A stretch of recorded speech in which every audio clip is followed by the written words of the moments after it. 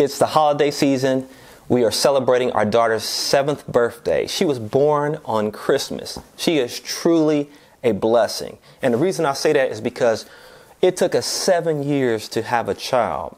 We struggled big time with all types of infertility issues. But there are three things that I learned from that experience about persistence that I want to share with you today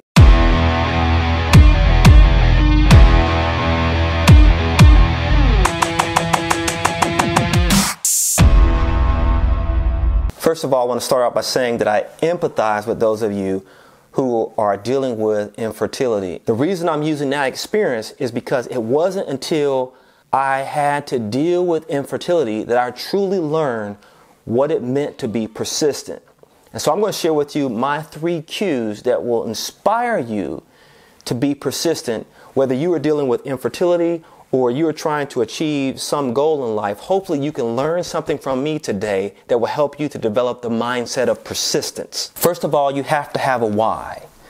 Your why is the reason behind your desire to pursue your goal. Your why has to be bigger than any problems that you will face. My why consisted of these three things. First of all, I said, I'm going to be the dad that I never had. The second aspect of my why is that I wanted to disrupt multi generational poverty. Just because I was born poor didn't mean that I was going to stay poor, and I have disrupted it. And then, thirdly, I said I want to leave a legacy. I want to leave something behind more than a big car, a big house. I want to leave my wisdom and my wealth. Second thing you need to do is transplant your negative thoughts. Experts say that we think about 50,000 thoughts every day. About 70 to 80% of those thoughts are negative. That equals about 40,000 thoughts that we think every day are negative, listen to me. You can't achieve positive things if you are thinking negative thoughts all the time.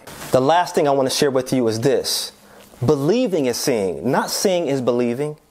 All the pregnancy tests that we took said no. All the results from the doctor's visits said no.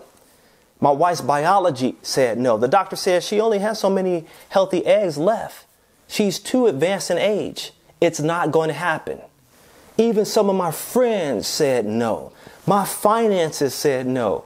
We depleted our resources. We cashed out stock. We borrowed. We sold our house. Our money said no. Everything outside of us said no. But in my mind, I created this picture that said I will be the dad that I never had. I said yes. You must believe before you see. And guess what happened? What I believe came into fruition. My wife called me and said, Hey, I'm late.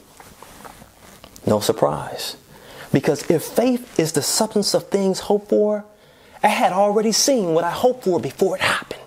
And when she told me she was late and we discovered she was pregnant and all the things that we tried didn't work, but our faith and our God helped us to realize the yes that we saw in our mind.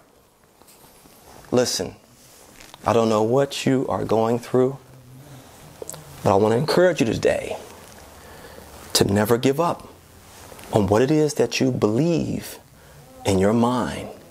Because one day, if you are persistent, it will happen. Listen, take your cues from me and live a great life. Nexcue. Let's go! Thank you for watching. Please don't forget to subscribe like, share, and comment below. Nexcue.